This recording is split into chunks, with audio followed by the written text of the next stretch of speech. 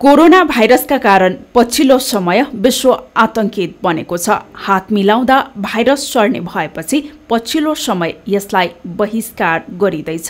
यसैबीच अभिवादनका लागि चीनमा अहिले एक अर्काको गोडा मिलाउन सुरु गरिएको छ जुन भिडियो निकै भाइरल भएको छ। एउटा भिडियोमा फेस मास्क लगाएका एक व्यक्ति अनेकौं मानिसलाई भेट्न गाडीबाट निस्केको देखिन्छ।